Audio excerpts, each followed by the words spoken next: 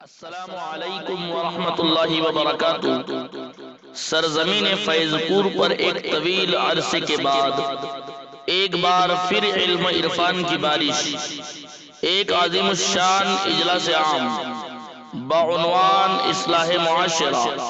بتاریخ آٹھ جنوری دو ہزار اکیس بروز جمعہ۔ بوقت بعد نماز عشاء ساڑھے آٹھ بجے۔ بمقام حضیرہ محلہ مومن مسجد کے پاس بڑا بڑا فیض پور میں منعقد ہو رہا ہے۔ اس پروگرام کی سرپرستی فرمائیں گے۔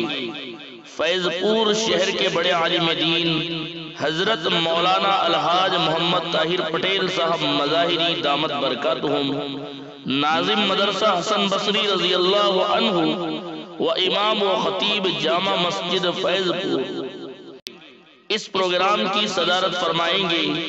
حضرت اقدس مولانا الحاج عمیر احمد صاحب قاسمی دامت برکاتہم، امام و خطیب چھوٹی مسجد فیض پور اور اس پروگرام میں مقرر خصوصی کی حیثیت، علاقہ مہاراشٹر کی مشہور زمانہ و مایہ ناز شخصیت بے باک عالم دین، شعلہ ویا مقرر، نوجوان دلوں کی دھڑکن۔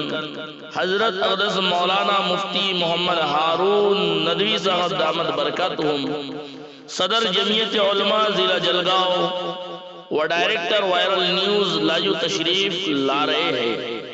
نظامت کے فرائض، قاری حافظ محمد انس صاحب اشاعتی دامت برکاتہم انجام دیں گے۔